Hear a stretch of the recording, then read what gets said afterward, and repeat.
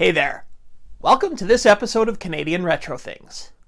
Now, those of you that follow my channel know that a while back I had an MC10 computer, TRS-80 MC10, that I uh, took apart and showed you what made it a little bit unique from the uh, other ones that are out there. And that's this computer right here. I showed you that there's an 8K modification done to the motherboard here. So rather than the stock 4K, this one has 8K. But the problem with it is that when you plug the 16K expansion pack into the back, it uh, causes interference. If you want to see exactly uh, what happens, you can check out the videos uh, up in the corner here or down in the description. So I had said that I wanted to keep this as is because it's a bit of a unique computer. But then, recently somebody made a comment in one of the videos. The comment was from High Tech World. You can fix the video problem by correcting a flaw in the RAM modification. Find the 74LS139 chip, which is piggybacked on U5. There should be wire from pin 15 of this chip running to pin 8 of U12. Remove this connection and tie pin 15 of the 74LS139 to ground instead. That should allow you to use the expansion pack without video interference. So I did my research on what would happen if I uh, did this little uh, fixing to the modification on the uh, MC10 motherboard there, and I came to the conclusion that one of two things will happen. Either this should fix the uh, interference problem, or it'll cause a cascading event that'll completely destroy reality as we know it. But seriously, I looked into exactly what would happen with this alteration. It turns out that pin 8 on U12 sends either a high or low signal to pin 15 of the piggyback chip on U5. The changing of the input between high and low to pin 15 affects the outputs of pins 9, 10, 11, and 12. By disconnecting the wire and attaching it to the ground, you are fixing pin 15 to a low input. Doing the change to the modification shouldn't hurt anything. I guess we'll see if it's going to help. The first thing we're going to do is take the computer apart.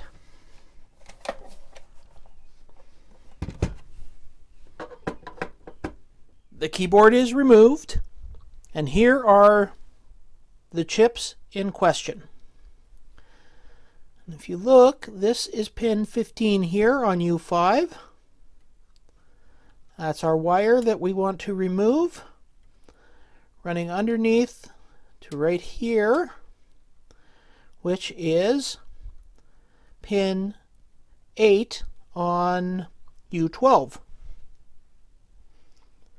So we just got to desolder the wire from pin 8 there. Time to warm the soldering gun up. I've got the soldering iron warmed up, so it's time to give this a try.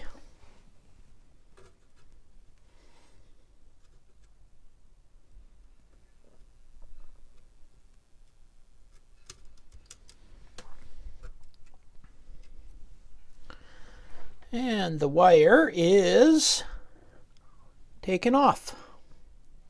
Now we have to find a spot to ground it. I am thinking of grounding it over here. So let's give that a try. So now what I'm going to do is I'm going to, uh, I put a little blob of solder on this uh, ground pad right here that's uh, for grounding the RF shield on the back. We'll just attach the wire to that.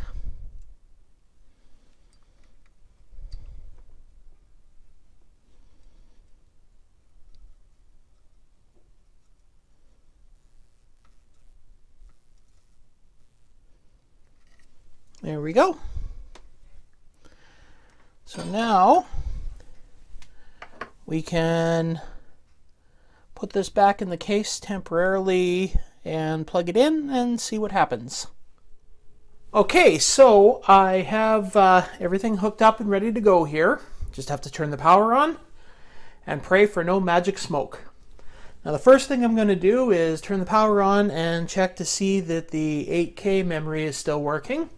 If that works, plug in the 16K memory and see what happens. All right, power on. No smoke yet. Good sign, good sign. Turn this power on.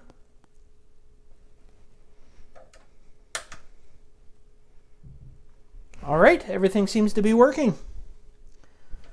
Now, we'll print the memory.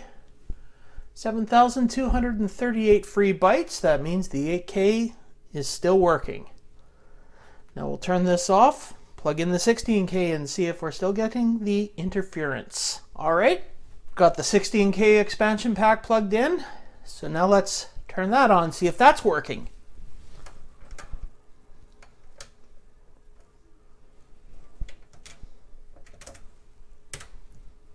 19,526 free bytes. It's working. Okay, now we will try maybe loading that Pac-Man game in and see what happens. All right, we've got the Pac-Man game loaded. Just took one little adjustment on the volume wheel to uh, get it to work properly. And also, if you want to uh, see a little video about how and why I do the uh, transferring the um, sound files from my iPad to the tape. You can check that video out uh, down in the description, up in the corner of the screen here. But for now, I guess it's about time to try running Pac-Man to see if it works. Now, I'll just uh, cut to the old video that I did and show you what this Pac-Man looked like before. And unfortunately, none of these lines should be here. It should be showing you the names of all of the ghosts and everything else. And here we start it. And you can see the interference is way worse now. Okay, now we will try it again. And look at that. It works. I can now play Pac-Man.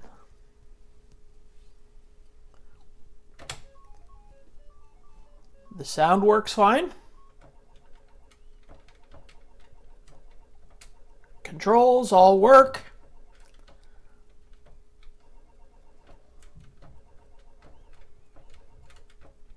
Thanks for watching this episode. I hope you enjoyed watching me uh, get this old MC10 up and running properly so it now works with the 16K expansion pack. Especially a big thank you to High Tech World for the suggestion of how to fix this. And uh, yeah, don't forget to uh, like, subscribe, comment below. All of those things will definitely help my channel grow.